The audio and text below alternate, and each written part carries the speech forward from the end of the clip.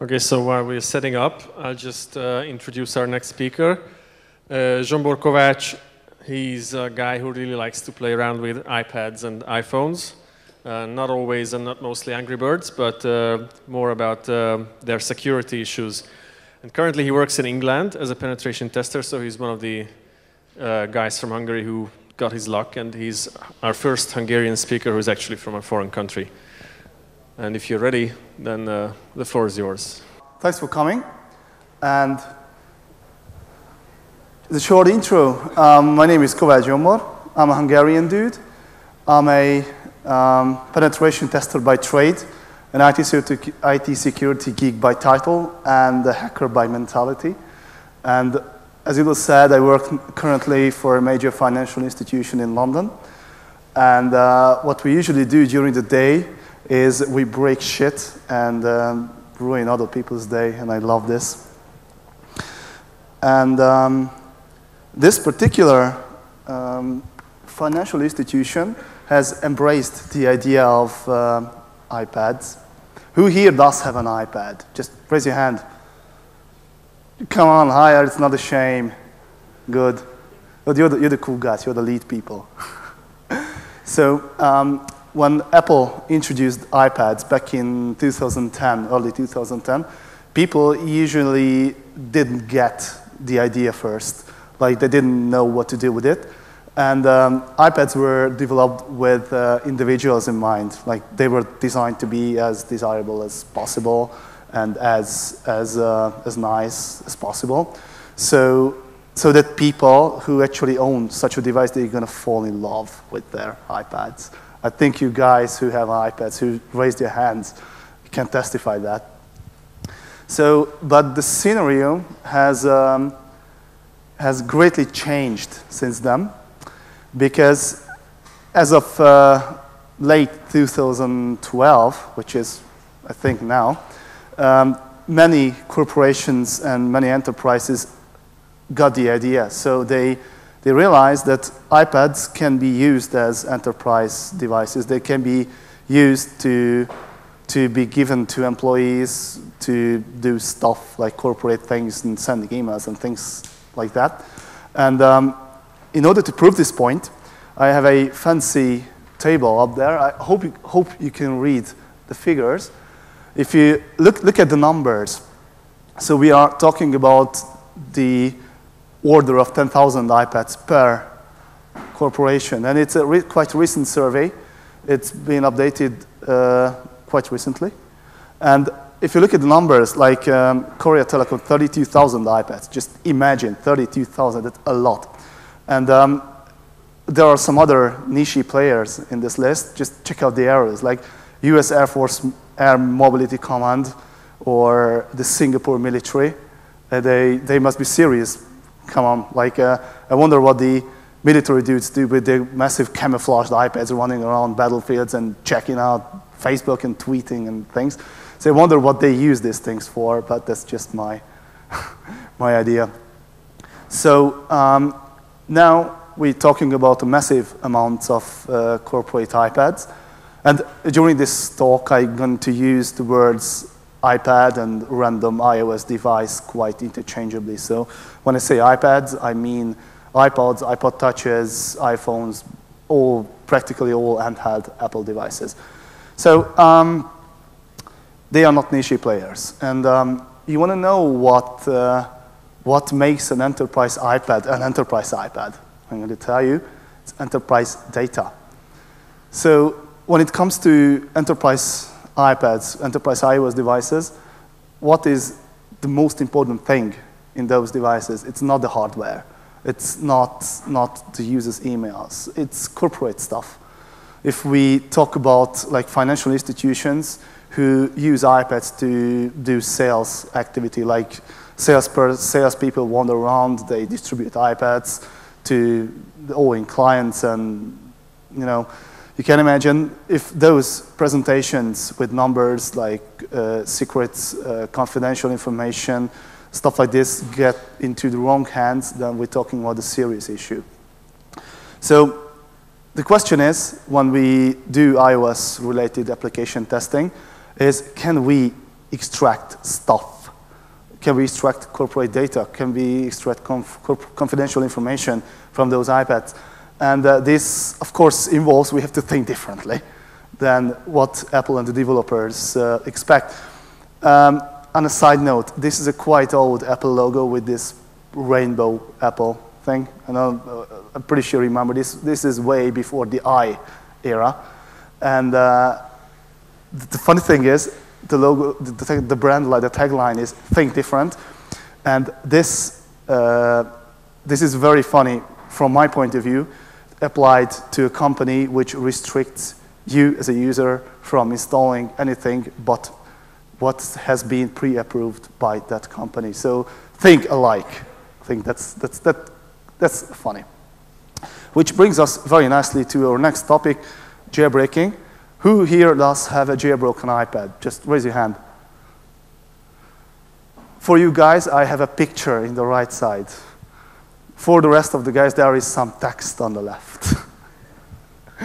so uh, jailbreaking means that certain restrictions are removed from the iOS kernel and from the iOS operating system itself.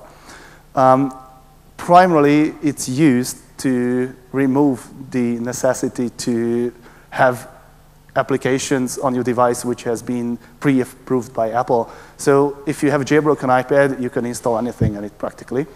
And um, there is um, there's this, this um, common misconception.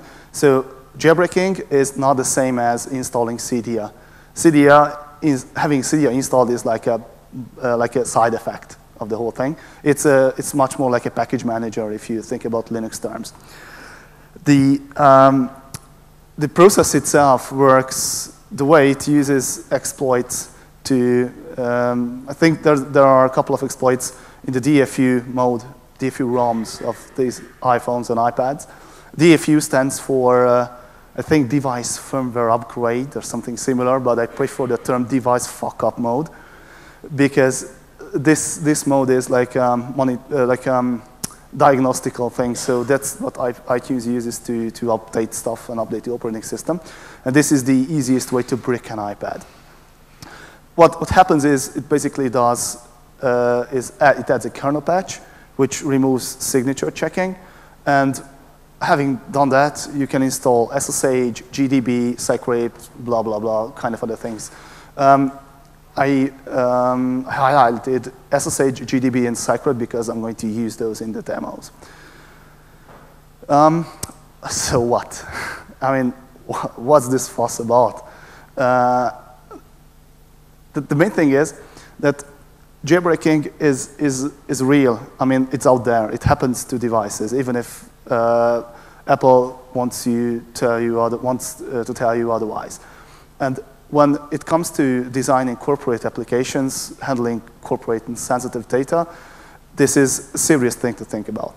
Because uh, according to my understanding, uh, many people who are in managerial positions and they're like system architects, uh, developers, and the like, they simply overlook the, the, the, this option of having a jailbroken device underneath their applications. So when we do penetration testing, we usually use jailbroken iPads, jailbroken iPhones, because they are, they, because they are like the basic toolkit for iOS testing. So performing an iOS test without a jailbroken device is like trying to fix a car without a screwdriver. In order to prove this point, um, to illustrate uh, what, um, what potential an attacker has who has a jailbroken iPad, I have a, um, I have a dummy demo, actually, um, which implements this algorithm. It's pretty straightforward. I don't want to talk about too much. Um, the user enters a password. The application creates a hash of the password and uh, compares this resulting hash with a known good value. And depending on the result of this comparison, we go either to update saying, OK, cool, you're logged in. Otherwise, we do something else. And um, where this known good value comes from, it's, it's actually irrelevant from our point of view. Uh, it can come from the keychain. It can come from uh, some configuration files within the file system. If we talk about like an online authentication thing, it even can come from somewhere else on the internet. So it's, um, in this particular application, it's the keychain that stores this. Uh, it's an MD5 hash of the password. So I'm going to show you guys how this thing works. I think, I hope uh, I have, yes, I have it here. Um, so this is the application. This is the login screen. The password is 1111. It's a very complex one. And here are my uber secret corporate documents here, which I'm going to protect. Uh, I log the device again. See like 4444. Try to type through VNC. It's 4444. It's, it doesn't let me in. It pops up the login prompt again. So how can we bypass this? Let's return to our presentation. And the most crucial point of this control flow is this is equal function, which decides whether or not uh, the entered password is good or, or, or something else. So if we can somehow tweak this function, uh, we, if we can hijack it, uh, we can um, hack the thing so that it lets us in with any password, so we don't have to know the good one. How can we do this? Um, in this particular example, I don't give you the source code. Uh, I hope you can read it. Um, if you can't, the next slide will be much more readable. So uh, just bear with me. So uh, if we look at what, what's going on, on on the assembly level, this is an actual screenshot from the autopsy provided by, uh, by IDAPRO on my demo application. So this is the real thing. This is what's going on. And uh, this is pretty much uh, what was on the previous um, figure. So you can see this. I have a cursor here. So this is the pin code hash function, which obviously performs a hash of the pin code. And the is equal uh, function is invoked afterwards. And what's interesting is, depending on the result of the comparison, we can go to either we ask the pin code again, or we draw the other, the other screen which shows the documents themselves. Um, this is, I think, it's much more easily readable. Um, highlighted, even if, you, if you're not familiar with ARM assembly, I hope you guys, you paid attention to the previous talk because they give you the highlights. They give you the basics. So um, I highlighted the important bits with red. I, I, hope, I hope you can see it. So um, these are the two function calls um, the one called pin code hash is equal, and this, um, this instruction here, no, this instruction here, this tst.w is a test uh, instruction. It decides whether or not the R0 register, which holds the result of the comparison, is true or false. Like it's a one or zero, is a yes or no in Objective-C Boolean syntax. And depending on the result of the comparison, we can either go, uh, we can take the branch, BNE stands for branch if not equal. So it's like jump zero, jump non-zero in IE I386 assembly. Um, so how can we bypass this thing? Let's see. Um, we come back to our presentation, to our iPad. Uh, okay, here we are at the pin code screen. And I have a um, SSH client and SSH server installed on my iPad. So I can see what's going on. So first of all, I have to figure out, I'm going to do this from scratch so that you guys can see what's going on and believe what I say. So first of all, I have to find uh, the process ID. Grep demo, it's 241.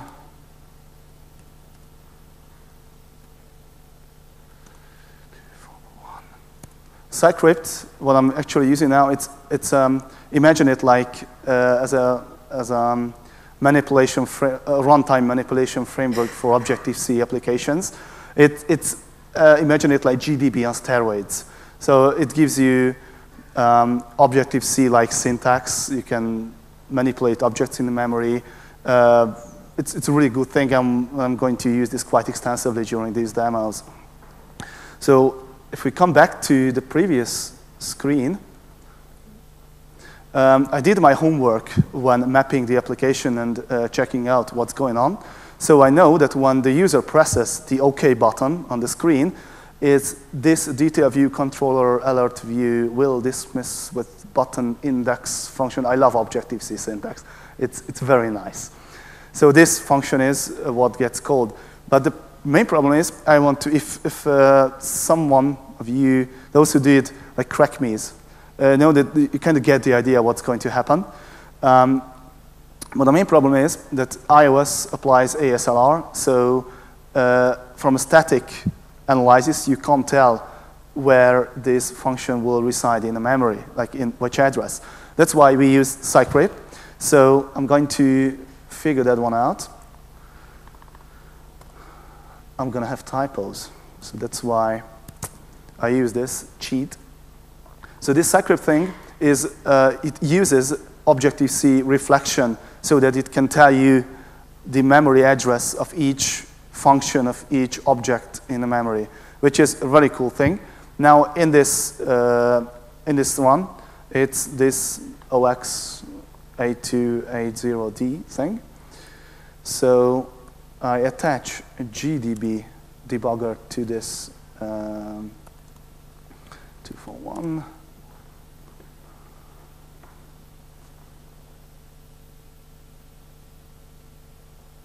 Cool. I set a breakpoint to this address. And so on. Um, so, so, that you guys can see what's going on. Um, so I type, I don't know, 3333, 3, go, and we see that the breakpoint is hit. So it's not, not a big magic so far. So let's see what's going on. Uh, $PC, as you might recall from the previous talk, is the program counter, which uh, is like EIP in i86 assembly. And this is the this is the standard prologue of every ARM assembly uh, function calls. I did my homework, so if we come back to this uh, assembly screen, um, I'm looking for this particular point in the memory. When the actual result of the actual comparison is evaluated. So I did my homework, and I know it's exactly from uh, 62 instructions away from where I stand now. And uh, there we go. This is the one. So if we take a look, closer look, we see that this, this, is, this is it. So this um, window is disassembled by GDB, and this other one on the, on the slide came from IDAPRO. So they kind of match. So we set a, another breakpoint here, remove the first one, say go on, cool with there. We see that this is the test.w instruction, which is the next one to be executed. So we, we found our point where we're going to change things. So far, we only like see, uh, we only, well, only what we did, so we um, inspected the memory and stopped the application, but now we're going to intervene. So uh, what's going on is this R0 register is evaluated, so let's see its contents. It's zero, so it's not equal. So what I need to do is simply set $r zero equals one. Remove my breakpoints. Yes, I come back to my iPad and I see what's going on and we load in.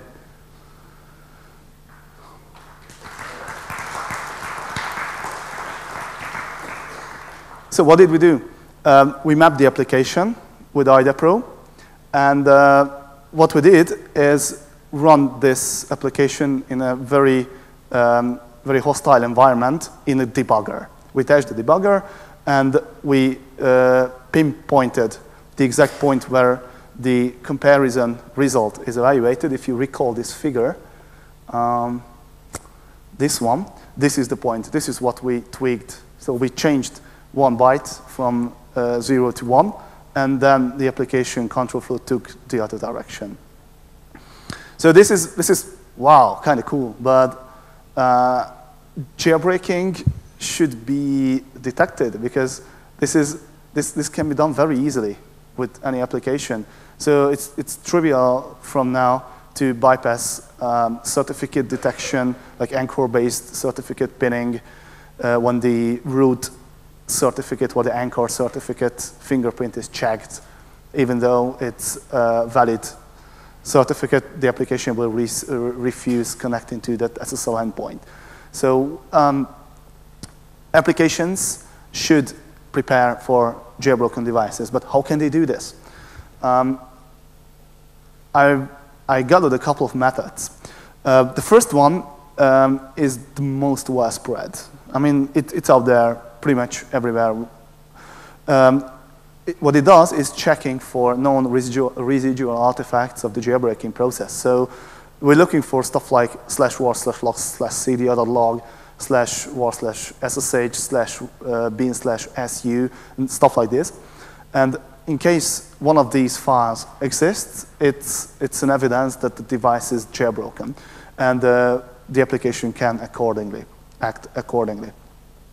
Um, this is the most widespread and most easy to implement and the most, uh, most compatible because this works in simply all iOS versions.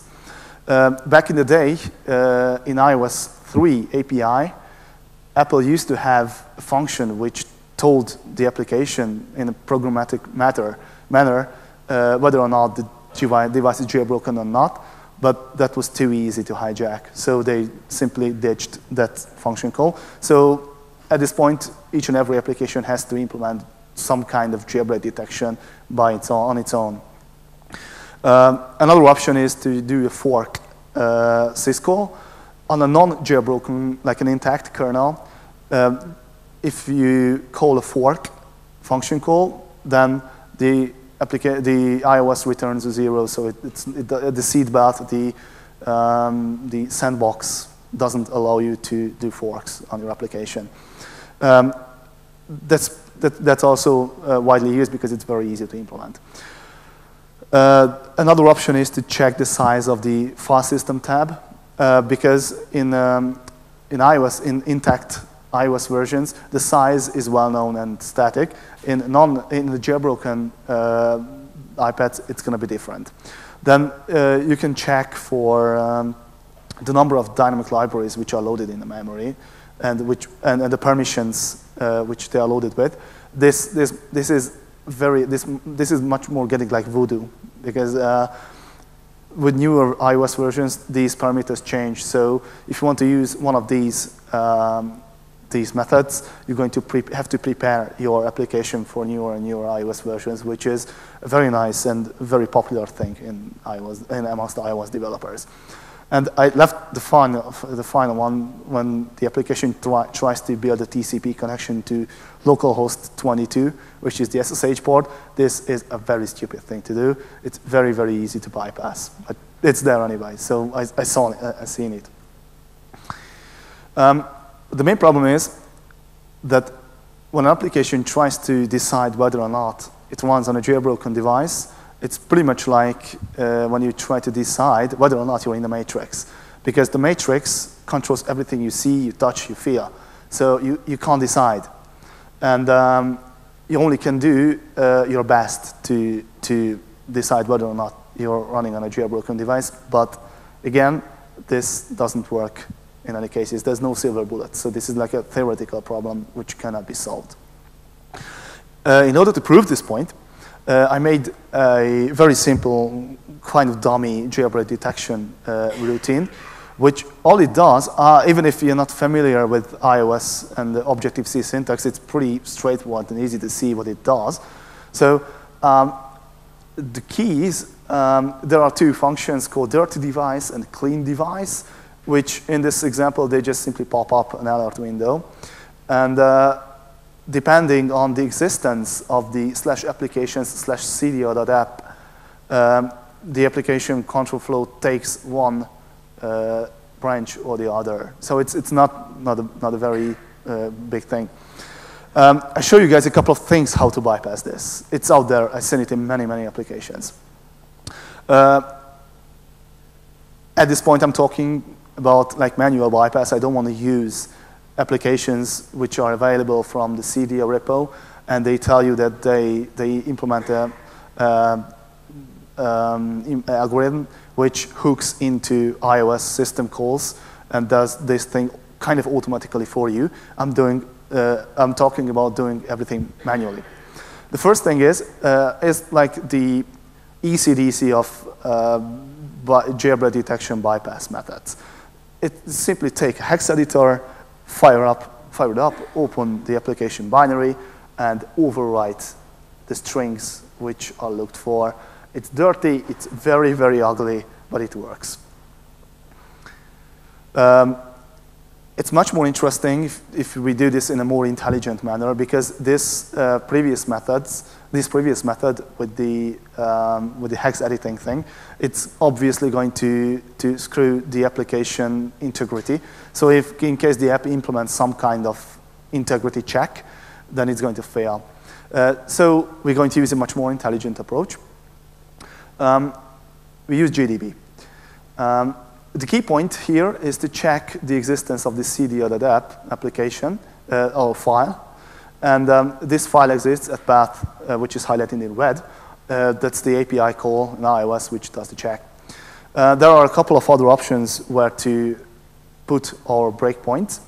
Um, probably we can use this um, function call, th this um, condition check uh, similar to the previous example with the test.w, that's what we're going to do in the demo. Or alternatively, we can hijack the dirty device function which gets called when the device is, is, um, is jailbroken. So um, when talking about realistic, like real-life applications, such dirty device functions can implement like wipe. They can, uh, they can remove themselves, uh, they can't remove themselves, but they can delete everything which the user uh, entered, like if they contain some kind of confidential data, they can probably wipe those. Uh, but that all depends on the application itself. So we're going to, uh, we're going to pinpoint or, um, or breakpoint to this is jailbroken function. Um, I made a small um, figure here which shows the calling stack. So when we get to the point where the file exists, the path function is called. That this is the control flow. It's, uh, it's going from down to upwards. So uh, before the file exists, a path function is called. Um, is the is jailbroken function, which is in the calling stack. And before that is the jailbreak detection. So that's nothing really, really fancy here. But this will all make sense in a minute. Um, quit this one. Yes. Um, come back to my iPad. This demo application is simply what this is an excerpt from the actual source of this app. So it checks whether or not the cd.app uh, file exists or not. In case it exists, it pops up a jailbroken function. Um, otherwise, otherwise, it's going to show a clean device. So um, let's, let's get back here uh, fire up GDB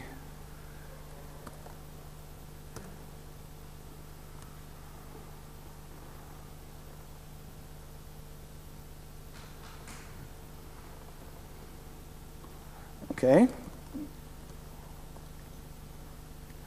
We set up a breakpoint at the file exists at path function. Uh, I think I bring it back to you so that you can see what's going on. Um, probably like this. So let's start it. And we already hit the breakpoint. Let's see what's, uh, what, which parameter was it called with. So if you recall the previous talk, in ARM uh, assembly convention, uh, the calling convention, it's the uh, R, R0, R, R1, R2, R3, which hold the uh, parameters for the function calls. And in this particular example, the file exists a path function. The, the R2 contains the, uh, the string that contains the file name.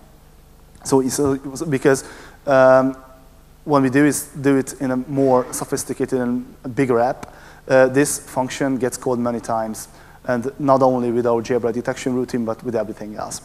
So we see that, yeah, this is the real one. We have to find this. So let's see what's in the backtrace. Um, GDB doesn't tell us um, which functions we have here, uh, but if we see, if we look at uh, what's in the calling stack down here and in here, uh, we see that th these are the same. So I'm going to hijack this one, set another breakpoint. We hit that breakpoint, and um, let's see what's in there. We suspect something. Uh, so if you recall the previous example, this TST function, or the instruction, is what um, decides whether or not a condition is true or not. So in this case, um, is the is jailbroken, is the result of the is jailbroken function, which uh, the result of which is holding there. So theoretically, we should be we should have a or we have a one. So it's it's logical, it's a boolean true so the device is jailbroken. All we need to do is to set R0 to false. Uh, remove my breakpoints. Come back here. And it says a clean device. So it's that easy to bypass. And th that, this was actually uh, a kind of laborer's thing to do, but I'm going to show you uh, in a couple of minutes another bypass method, which is much, much more easier to do. So um, coming back to our slides, um, this uh, method, this, this, the key of this uh, jailbreak detection thing is this is jailbroken function. So how cool it would be if we could simply replace that function with something else, our own devising. So uh, can it be done? Yes. And the answer here is um, method swizzling. That's a, that's a term used for, for um, runtime manipulation of the framework and the application memory.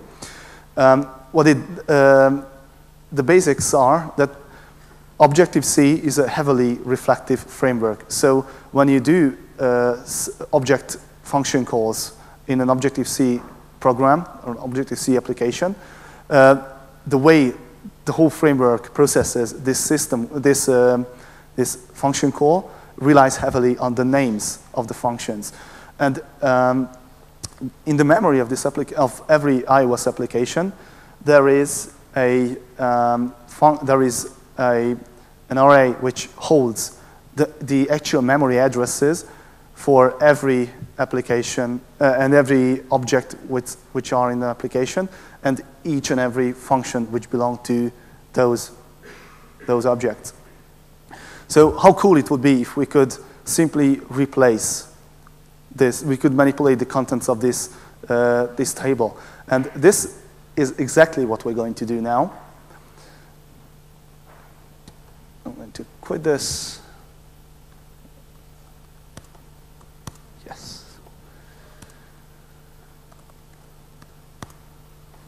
Clear. Come back. For JBT. Okay. We use Secrypt again. No.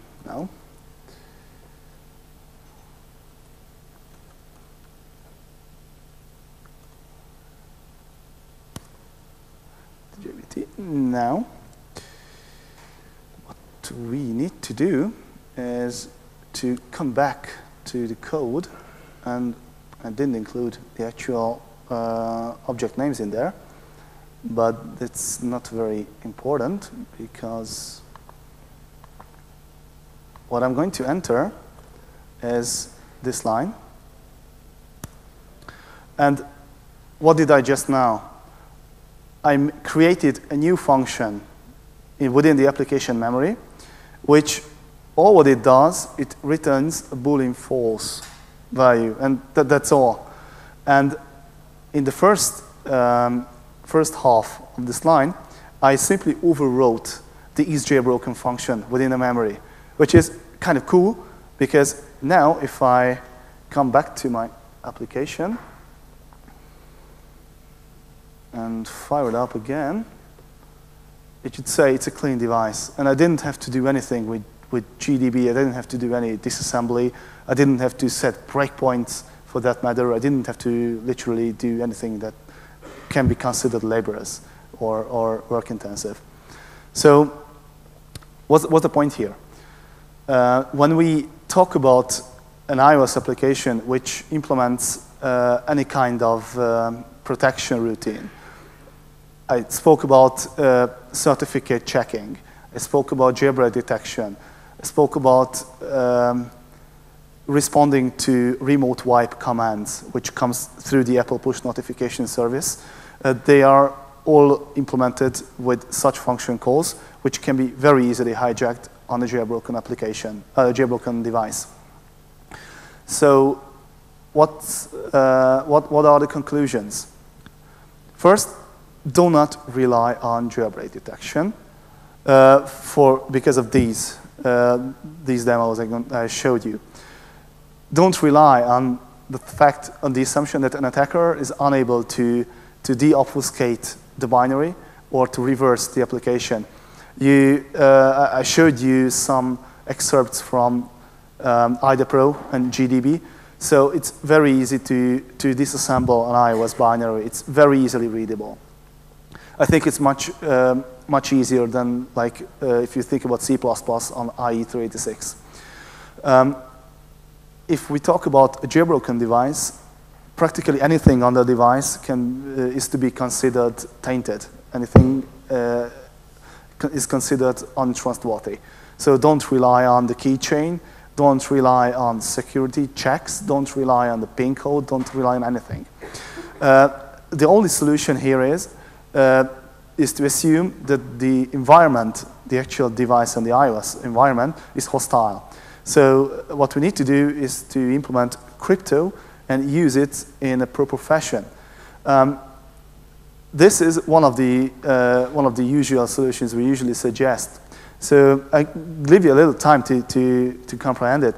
So uh, the way uh, an application should do, say, encryption routines um, is to create uh, a complex password, enforce that complex password.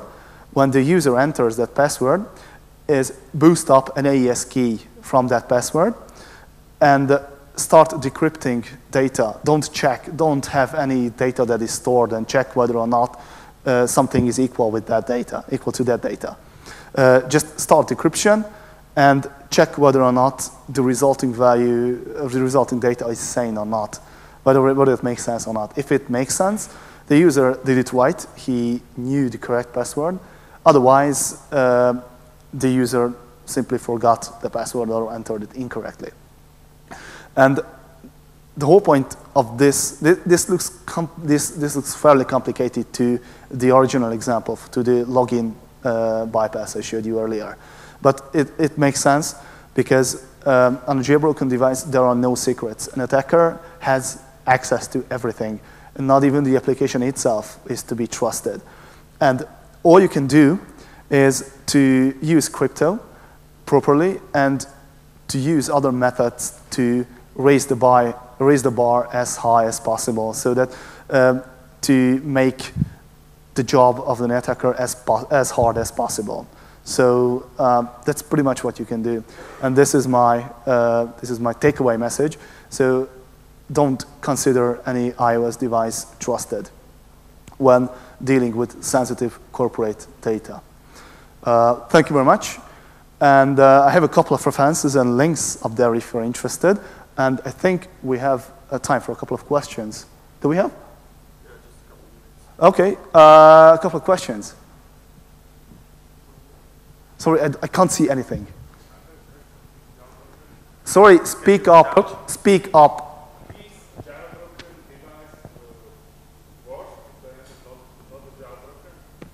Uh, the, question was uh, that. Sorry.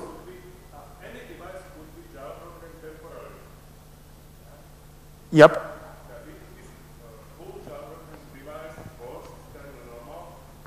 Uh, the, question, the question was that can we consider a jailbroken device worse in any manner uh, than a non-jailbroken device?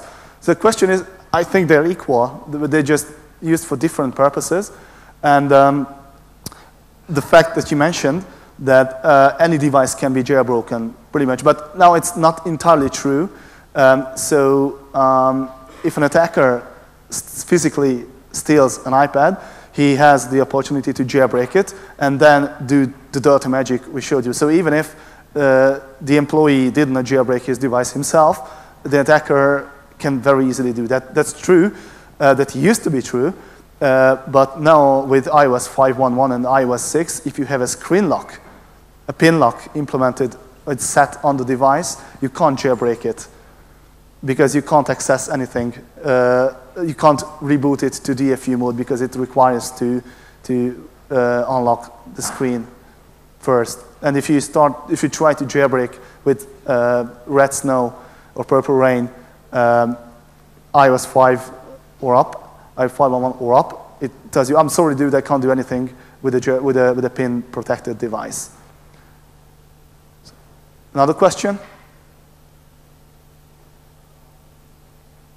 Three, two, one. Cool. Thank you very much.